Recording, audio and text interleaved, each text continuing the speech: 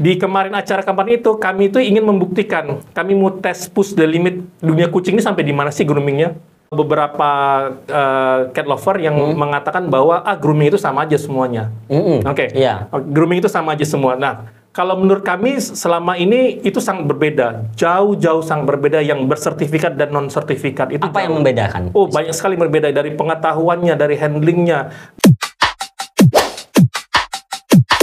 Teman-teman, kembali lagi kita di Ruang Sayuti, ruang belajar kita bersama. Yeay. Pada kesempatan kali ini telah hadir di ruangan kita Bang Aji Saung Pamukas, seorang owner dari Rumah Sakit Hewan Dunia Kucing. Apa kabarnya Bang Aji? Alhamdulillah. Terima kasih sudah hadir dan ini sangat istimewa sekali bagi kami Ruang Sayuti dihadiri seorang owner Rumah Sakit Dunia Kucing. Kak juga lah, Brio. Pemirsa Ruang Sauti, eh, saya udah lihat channelnya, konten-kontennya Ruang Sauti itu keren banget, inspirasi. Semoga konten hari ini kita bisa saling menularkan inspirasi untuk kita semua Amin. di ruang di channel Ruang Sauti. Oke, gimana Om Rio? Ah, cukup menegangkan hari ini. Apa yang ditegangkan Bagi itu? saya, eh, kawan-kawan, ini podcast paling menegangkan. Aduh. Karena berhadapan dengan seorang owner dari rumah sakit dunia kucing, yang mana dunia kucing ya mungkin teman-teman sudah nggak asing lagi lah ya, di mana dunia kucing sering bermunculan di sosial medianya teman-teman. Dan inilah beliau ownernya, kita undang langsung. Cukup berlebihan memujinya. Nah, Bang Haji, Gimana, sebelum gimana? kita lanjut nih membahas tentang dunia kucing secara rumah sakit dunia kucing ini. Oke. Ke- beberapa hari yang lalu kita sempat tuh lihat di sosial medianya dunia kucing Oke. bahwasanya owner dunia kucing ikutan lomba styling kucing di uh, Malaysia Kuala Oke. Lumpur dan itu mendapat juara satu. Gimana ceritanya itu? Alhamdulillah rezekinya katanya kayak gitu. Gimana ceritanya itu? Oke oke. Eh, sebenarnya acara kemarin itu kita tuh seperti orang bodoh aja. Jadi pura-pura nekat, sok-sokan hebat. Kita eh, memang itu adalah organisasi ISFC International Society Hmm? of Feline Cos Costem, Cosmetologist. Jadi dia itu organisasi yang benar-benar berserti- eh, untuk mensertifikasikan oleh untuk groomer-groomernya eh, untuk kecantikan, keindahan, handling untuk khusus kucing. Kalau biasanya kan itu cat show. Nah kali ini yang dinilai itu yang di yang diberikan sertifikat itu adalah si groomernya. Groomer ini pelaku eh, yang bekerjaannya biasanya pangkas, styling atau memangkas kucing, merawat kucing secara keseluruhan atau bagaimana sih? orang- Jadi gini, uh, jadi uh, profesional profesi groomer ini memang mungkin uh, baru, tapi kalau di Indonesia mungkin baru, tapi Masih kalau- asing ya? Masih asing, masih uh, tidak tidak apa ya, tidak dipan- belum dipandang lah oleh oleh masyarakat. Tetapi uh, untuk di luar negeri profesi groomer ini uh, sangat-sangat dihargai oleh uh, pecinta-pecinta hewan. Nah, jadi groomer ini Ya kami kemarin berangkat itu tidak hanya dinilai cat styling saja, tetapi kita cara menghandlingnya, persiapan kita mandiin satu hari sebelumnya, itu semua dinilai.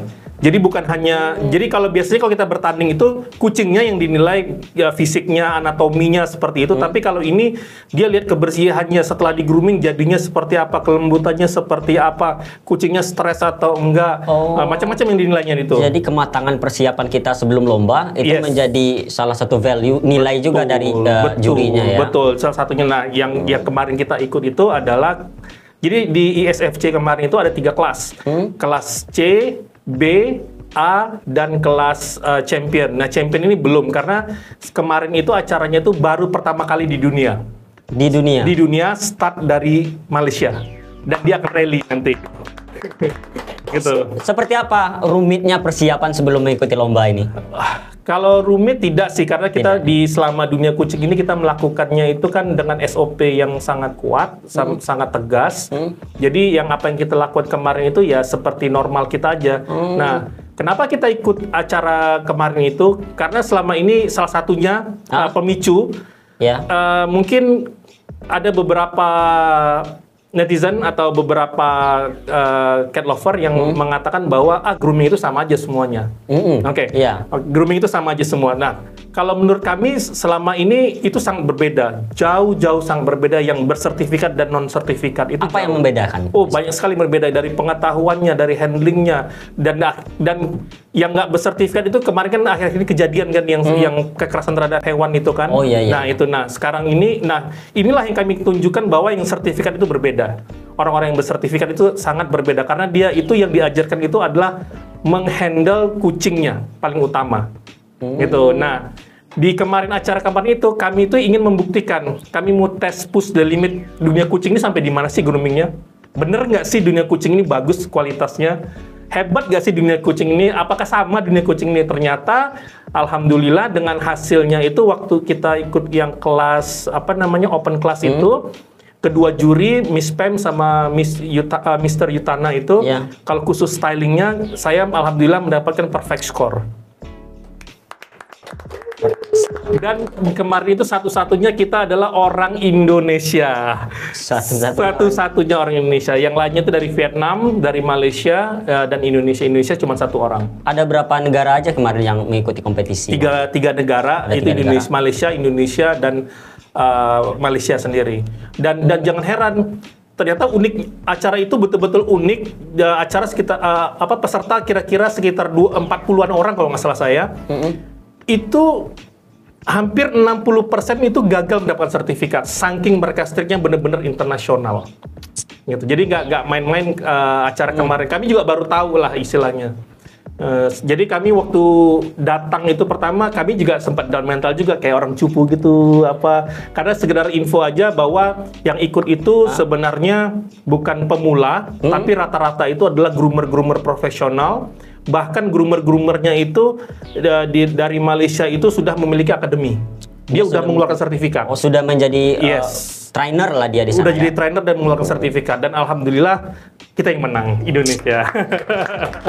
Gimana kemarin suasana di dalam pertandingan itu, Bang Ji? Eh, kemarin intinya gini, sebenarnya kita datang ke sana juga nothing tulus karena awalnya kita tuh sebenarnya apa ya ngejar sertifikatnya aja sebenarnya awalnya itu ceritanya begitu. Kalau masalah eh, juara atau apa jadi best gitu itu Iya. bonus lah menurut kami kan.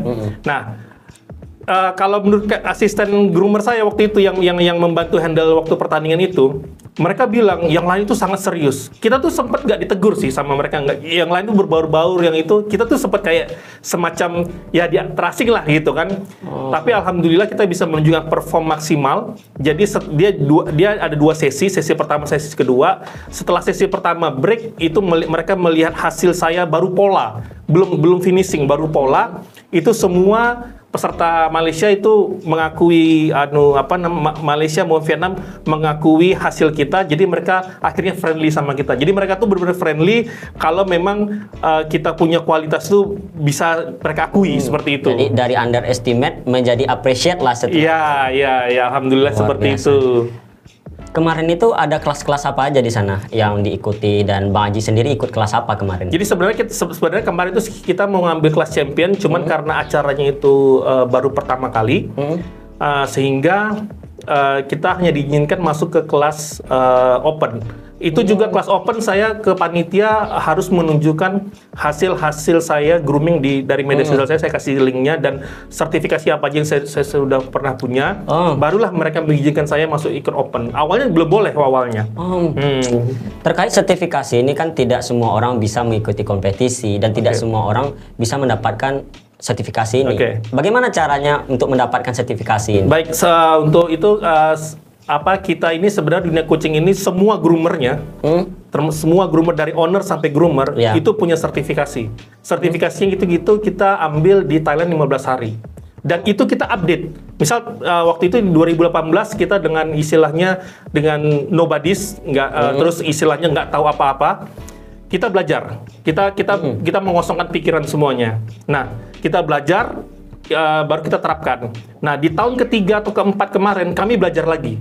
Jadi kami harus update terus. Dan istilahnya di tempat guru kami itu saya kita tuh saya tuh pengen ngecek lah eh, staff saya ini udah oke atau belum. Seperti itu. Jadi, jadi sebagai controlling gitu. Nah Jadi walaupun kita punya sertifikat di Thailand, di mana, di mana, di Ya. mana, di mana, itu sebenarnya bagi bagi mereka itu masih lokal. Bayangkan. Masih lokal padahal kita sudah Masih lokal. Walaupun kita, kita punya Indonesia nih, kita punya Indonesia Ah. yang terbaik itu, itu masih dianggap lokal sertifikatnya. Nilainya itu masih masih lokal. Nah, Hmm. dengan mengikuti ISF ISFC ini, Ah. kita benar-benar di dunia kita diakui seluruh dunia di negara mana pun juga karena ini adalah organisasi kucing terbesar di dunia tahun 2019 mereka sertifikat yang didapatkan atas pengakuan C sebagai champion itu sertifikasi dunia berarti. dunia diakui dunia Nah, di dunia nanti kita, nanti Malaysia insya Allah eh, ke depan ini mungkin dalam waktu dekat tahun eh, di tahun ini juga saya akan ikutin di negara lain eh, itu masuk kelas champion Oh ini ISFC ini dia berkesinambungan ya ada setiap tahun atau keregulerannya bagaimana? Oh dia regu- eh, kayak sepertinya sih reguler. Jadi eh, sebenar- sebenarnya bulan Agustus ini katanya ada di Jakarta. Cuman Jakarta itu dia eh, lebih ke dogi. Oh, nah, pertandingan dogi, lebih dogi. groomingnya, groomernya dogi. Nah, tapi kalau yang yang di eh, yang saya ikutin karena saya spesialis kucing, nah kita hanya ikutin kontes-kontes yang kucing saja. Nah, jadi mungkin ke- di, di setelah Jakarta ini ada lagi di negara lain, cuma kita belum dapat info negara mana. Tapi kita gas terus pokoknya. Tes mental. Tantangan apa? Challenge apa? Tantangan atau challenge yang selama lomba itu apa aja sih? Banyak, banyak. Jadi kita ternyata di sana itu uh, kita belajar juga lah uh, persiapan-persiapan dari kontestan lain itu memang benar-benar ada yang bawa meja sendiri, ada yang kayak semacam tas makeup dibuka tak tak, tak, jadi meja begitu tersusun. Uh, terus tantangannya juga biasa kita grooming dengan lighting yang proper gitu kan. Nah, di tempat sana tuh cuman lighting hall aja jadi mata kita harus lebih tajam lagi, lebih teliti lagi. Kemudian kita harus persiapan untuk nyari kucing, nyewa kucing. Kucing itu disewa. Kita nggak bisa bawa dari sini langsung. Wah, bisa, cuma ribetnya minta Ribet ampun. ya. Mendingan saya nyewa daripada saya bawa gitu kan. Pasti ada perizinan juga ya. Wah, parah, parah, parah. Itu pasti pasti makan waktu, makan waktu, makan biaya, terus belum lagi kucingnya stres dan macam-macam itu terlalu terlalu terlalu ribet lah. Jadi kita Hmm. lebih milih sewa cari cari breeder-breeder yang yang punya kucingnya itu memang siap mental show. Jadi saat kita melakukan perform itu dia eh, apa namanya uh, korporatifnya tinggi sama kita itu. Kemudian kita harus satu harinya sebelumnya tuh kita harus grooming dulu. Groomingnya aja persiapan itu kita lakukan karena kucingnya kita pilih yang benar-benar bagus, uh, bulunya tebel, karena per- karena tujuannya untuk styling kan. Itu pengerjaannya itu kemarin kami hitung hampir 4 jam untuk mandi doang. untuk mem- itu mulai dari memandikan, membersihkan Dari persiapan telinga, mandi mata, sampai blower itu semua hampir 4 jam kita melakukan itu. empat jam. Hampir Baru hari jam. besoknya di Ha- hari uh, pertandingan. ya hari itu besok kita istirahat kita dis- diskusi sama tim gimana besok apa harus dibawa ini semua nah istirahat mulai jam 9 pagi Terus tools yang harus dilengkapi ketika ikut kompetisi ada persyaratan juga, ada kelas-kelas eh, gunting yang mesti kita bawa, bagaimana yang sisirnya. mau buka bongkar rahasia dia? Bisa ini. Ini nggak bisa ini. Oke bicara tools ya semua kita, kita uh, nah untuk untuk untuk pemirsa juga atau cat lover juga bahwa tools itu tools mahal dan murah itu itu sebenarnya menentukan hasil Hmm. Tapi bagi orang pro Iya. mungkin tahu hasilnya enaknya atau gimana dia tahu harus eh, dia dia bisa tahu. Hmm. Nah seperti kami kalau saya sih pribadi pasti pengen cari eh, gunting-gunting yang memang udah grade-nya udah ya top over the top lah gitu seperti Hmm. itu. Nah dari situ kita eh, eh, apa kita saya sekitar ada enam gunting sama tiga sisir yang ya lumayan lah. Wow, tak bisa di-spill kayak. bisa, bisa, Bisa, bisa, bisa ya. bisa. Digambarin, digambarin ya spillnya gitu. Yang kayu S-nya ya. jangan, jangan angka US-nya. gitu. Nah, eh, apa gunting itu menentukan karena kita hanya di waktu kasih waktu dua jam sementara biasanya kita bekerja itu kalau untuk styling itu 3 sampai 4 jam tergantung eh, Hmm. korporatif kucingnya kan. Nah, tapi di sana kita dituntut hanya dua jam kamu harus beres. Oh, nah untuk teman-teman yang mungkin di luar sana yang masih ragu nih apa sih styling atau grooming ini? Uh, kemarin itu Bang Aji ikut lomba itu styling. Uh, kita sering melihat kucing-kucing itu yang sudah di styling seperti singa ataupun kucing-kucing yang dimodif ya bahasanya mungkin Iya. ya seperti menjadi boneka yang gembul seperti Iya, itu. iya. Awalnya itu kucing-kucing biasa tetapi di buat style seperti itu. Nah itulah uh, yang beliau lakukan kemarin uh, kompetisi di KL Malaysia ya Pak. Ya, di tepatnya sih di Dharma Wangsa di Petaling Jaya. Oh Petaling Ya, Jaya. jadi Malaysia. se- sekitar 20 menit lah dari KL itu. Cat lovers dan teman-teman ruang sayuti udah tahu belum bahwasanya grooming itu tidak sesimpel yang kita bayangkan. Ternyata banyak jenis-jenis dari grooming tersebut. Apa-apa aja nih, Bang Haji, jenis-jenis dan layanan grooming yang ada di dunia kucing. Baik, uh, untuk teman-teman semua sebagai pengetahuan teman-teman semua bahwa grooming betul kata apa, apa kata Bang Rio ini bahwa tidak mudah dan tidak sesimpel itu. Nah, grooming itu ada beberapa jenis, banyak banyak jenis. Ada grooming basic grooming, ada uh, met- apa medical grooming itu medical grooming itu khusus untuk kutu dan jamur dan alhamdulillah uh, kita itu kalau kutu dan jamur itu sekali grooming itu bisa mengangkat hampir 80% uh, kutu dan jamurnya itu. Ya. Kemudian kita ada namanya dry grooming. Dry grooming ini untuk khusus kucing-kucing yang lagi demam, lagi hamil gitu kan. Nah, jadi dia tuh menurunkan stres jadi kita menggunakan powder khusus Tidak pakai air ya. tidak pakai air sama sekali gitu. Nah, kemudian kita masuk ke serum grooming. Nah, serum grooming ini seperti kecantikan dia. Dia seperti untuk kulit kecantikan seperti itu. Nah, dia ini lebih berfungsi kepada kayak bulu-bulu rontok, terus patah, terus bulu-bulu yang bercabang, terus akar-akar bulu yang kurang kuat. Ya. Nah, itu kita berikan serum grooming. Jadi dia dia mengenerate ulang lagi, membantu generasi regenerasinya untuk khusus uh, kulit dan bulu itu. Nah, masuk lagi ke degreasing. Degreasing. Degreasing grooming. Degreasing grooming ini dia untuk kucing-kucing yang uh, kulitnya dan bulunya itu minyaknya itu over. Yang biasanya kucing itu banyak gumpal-gumpal bulunya. Ya, bisa juga dan ada kadang-kadang kan orang-orang yang apa cat lover lover yang mandiin kucingnya sebulan sekali gitu. Nah, itu saya kita sarannya sih pakai degreasing karena dengan degreasing ini uh, dia membantu mengangkat minyak-minyak dengan sempurna gitu. Kemudian masuk lagi ke stain remover. Nah, ini khusus-khusus kucing yang berwarna putih solid. Nah, Ya. solid ini kan suka ada bercak-bercak tuh. Iya, gitu. iya. Nah, biasanya mereka tuh melakukan peguntingan.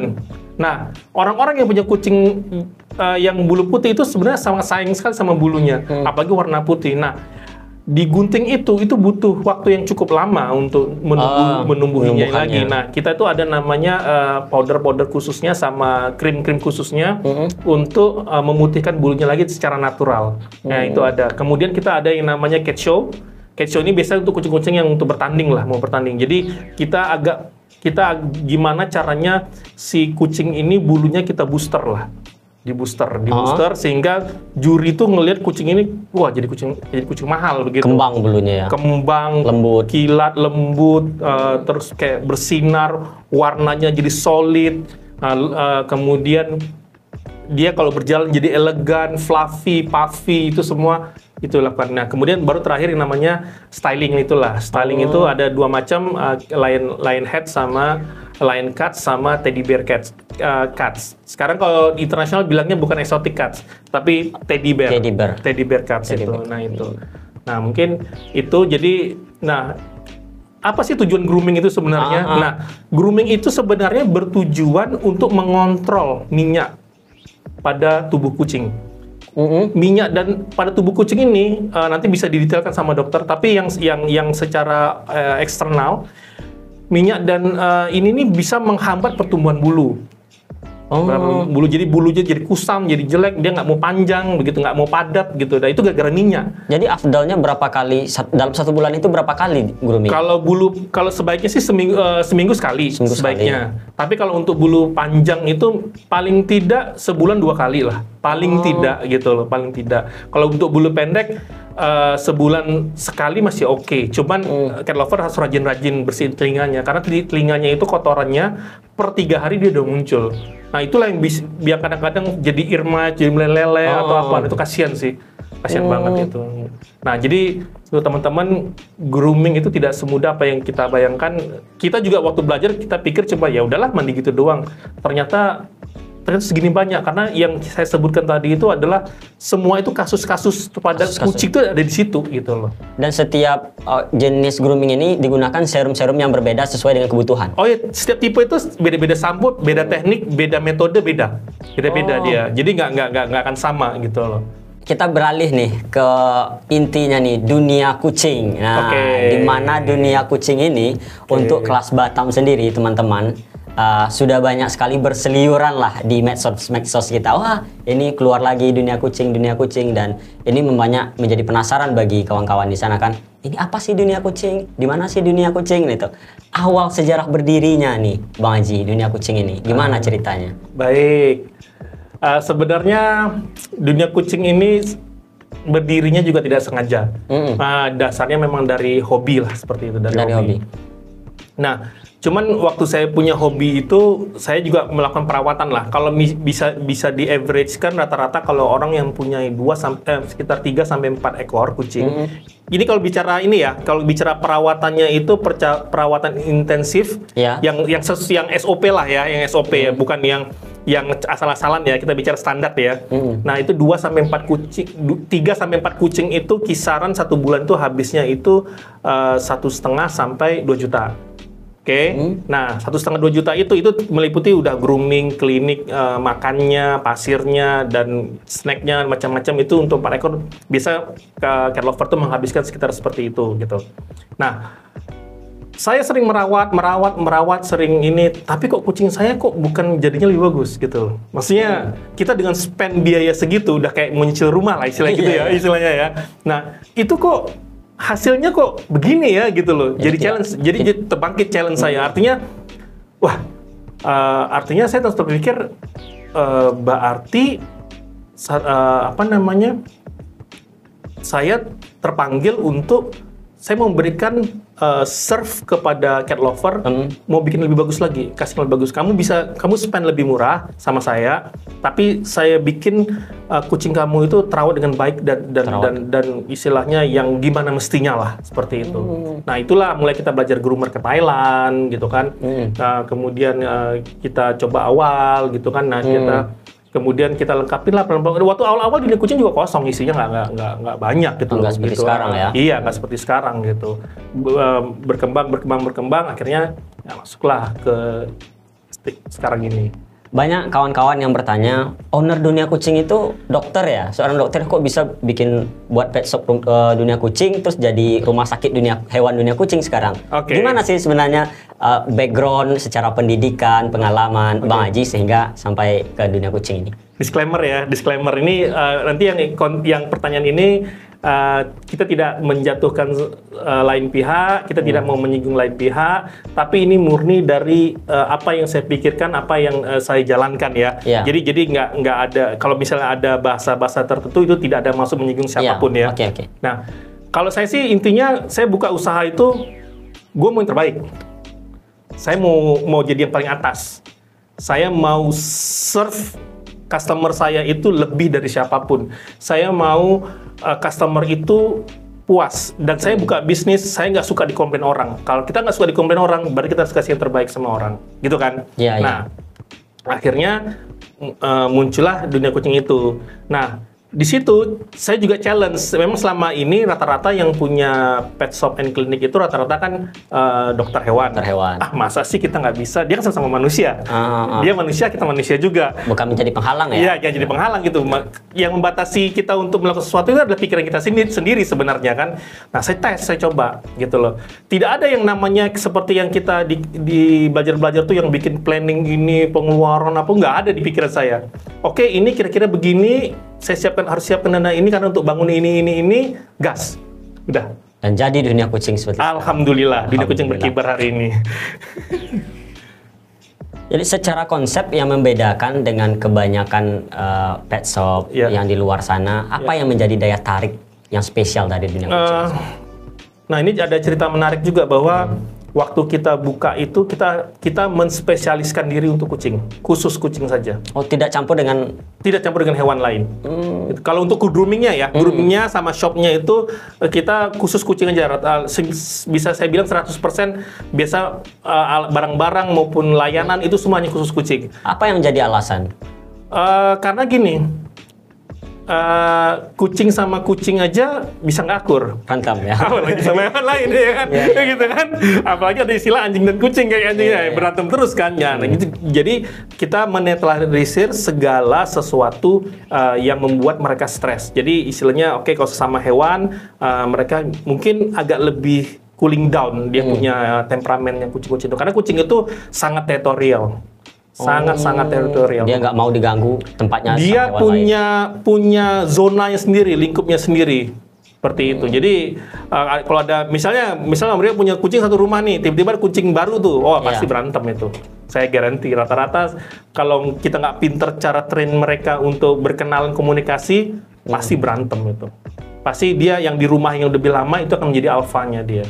Seperti itu. Dan itulah yang menjadi suatu value bagi cat lover sehingga memilih dunia kucing dan sehingga dunia kucing menjadi pet shop kucing khusus, khusus kucing pertama di Batam ya. Eh, khusus kucing pertama di Batam alhamdulillahnya. Untuk yang ini ya ya untuk layanannya ya. Ya, Layanannya. maksudnya one stop service-nya ya. Mhm. One stop service-nya kita mungkin eh, yang pertama di di, Di di Batam. Indonesia juga mungkin pertama. Nah, apa namanya? Saya menambahkan juga bahwa eh, nggak hanya spesialis saja seperti itu, memang karena kami misinya juga mengedukasi masyarakat bahwa piara kucing itu gini loh bener, cara benernya itu gitu loh. Nggak- jangan jangan kita hanya dari Google atau dari teman itu langsung kita serap mentah-mentah. Oh, itu udah bener. Oh, belum tentu. Ternyata setelah setelah kita pelajari masalah kucing ini banyak banget anu apa seluk beluknya itu nggak nggak nggak semudah itu sebenarnya kalau kalau kalau yang mau bener-bener ya tapi kalau kalau seperti kami ini udah terbiasa udah tahu trik-triknya itu kayak udah ya udah begitu aja lah gampang banget gitu loh Ada testimoni uh, Hmm. banyak ya testimoni daripada cat lovers yang sudah membawa kucingnya perawatan di dunia kucing terutama juga klinik dan grooming ya. Iya. Mungkin kita kulik dulu di groomingnya. Apa sih yang membedakan spesialnya grooming di dunia kucing dengan tempat-tempat lain? Oke, oke, oke, oke. Ini agak disclaimer lagi ya, karena kita tidak mau menyinggung pihak Iya, iya, mana pun iya, ya. iya. Ini yang kami lakukan pertama adalah melakukan sertifikasi, sertifikasi di di negara lain gitu. Karena Hmm. kita tahu Thailand itu untuk perkembangan dunia hewannya, peternakannya itu sangat sangat sangat maju lah menurut kita gitu Hmm. Kan. Nah, di kemarin pun juga kita dapat knowledge baru lagi bahwa kenapa eh, sekarang ini yang lagi tren kucing-kucing yang mahal itu asalnya dari Thailand semua. Karena mereka tuh pinter cara mengembangbiakan bahkan treatment asupan-asupan gizinya tuh sehingga mereka bisa jadi kucing mahal seperti itu kan. Nah, jadi awalnya kita mensertifikasikan mensertifikasikan eh, diri groomer, kami serius dan kami selalu menanggapi serius bahwa kita tuh kucing itu bagi kami raja gitu loh intinya. Eh, segalak apa pun kucing, Uh-uh. kita tidak punya hak untuk mengasari dia. Sejahat apa pun kucing, kita tidak punya hak untuk mengasari dia. Itu itu itu udah moto kita di groomer gitu. Biar biar kalau bagi saya, biar groomer saya yang luka, saya bisa obatin. Saya bisa obatin, saya bisa bawa rumah sakit, bahkan operasi bila dibutuhkan, saya baik, saya biayain. Tapi saya nggak mau kucing customer atau kucing orang itu tersakiti eh, karena kelalaian oleh groomer itu sendiri. Tuh. Jadi kita benar-benar jaga bener kita. Jadi gini, kita anggap kucing itu adalah eh, kucing kami sendiri. Nah, itu. Kenapa dunia kucing itu bisa menghandle kucing-kucing yang galak? Kabarnya Hmm. uh, dunia kucing ini ketika sertifikasi ada ilmu uh, apa? Eh, lu- kok lupa saya. Padahal barusan ingat. Uh, untuk berubah ya Handling. psikologi ya. Oh, psikologi. Ah, eh, ulang lagi coach ya. bahasa kucing ah, ah, um. Ada juga yang menduga bahwasanya ketika dunia kucing itu melakukan ada yang ada yang mengatakan bahwasanya ketika dunia kucing itu melakukan sertifikasi groomer itu ke Oke. luar negeri ya ke Oke. Thailand waktu itu Oke. diberikan juga tips ilmu-ilmu bahwasanya ada pengetahuan tentang yang diterapkan itu tentang psikologi kucing Oh. cara kita berbicara dengan kucing itu Oke. Mitos atau fakta sih itu bang Haji? Wah, agak menjebak pertanyaannya ya. jadi begini, uh, di- jadi sebenarnya ini kalau menurut kami lah ya, menurut kami dan uh, di agama kami juga lah ya, agama Islam ya.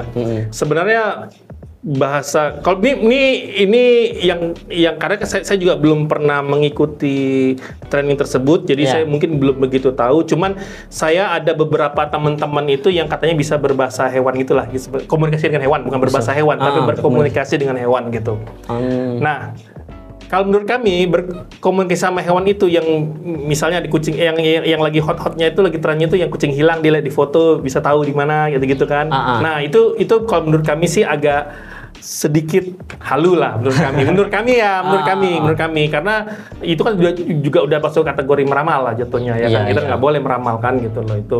Nah, yang kami yang kami belajar itu sebenarnya itu adalah cara handling kucing. Cara Hmm. handling kucing, cara men-set up uh, kita punya emosi. Ah. Uh, jadi saat kita melakukan grooming itu kita tuh harus menjadi alpha. Jadi alfanya mereka. Ya, tapi tidak alfa yang menakutkan, cuman mereka mempercayai bahwa saat kita tanganin itu mereka percaya sama kita.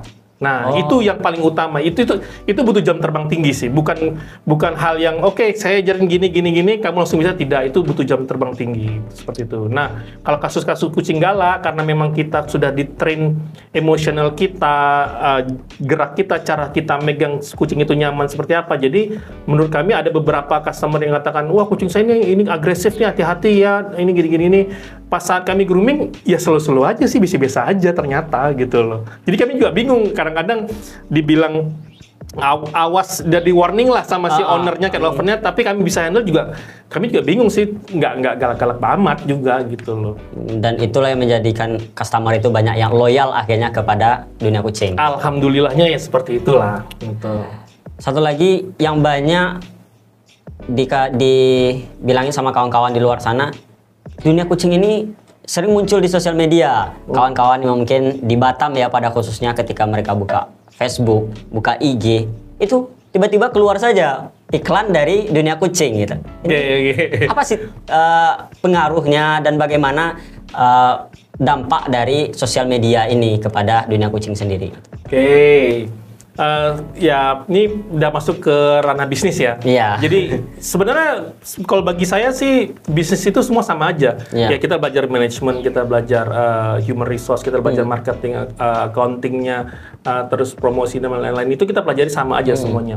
Nah, yang saya lakukan di di dunia kucing ini adalah eh, marketingnya, Hmm. bidang promosinya. Nah, itu kan eh, zaman sekarang ini kan udah digital marketing ya. Hmm. Ya sebenarnya yang offline marketing juga bagus. Offline itu tapi kita memfungsikan untuk uh, upscaling, untuk uh, closing, uh, untuk layanan itu kita lakukan secara offline. Tapi secara uh, marketing kita lakukan secara digital.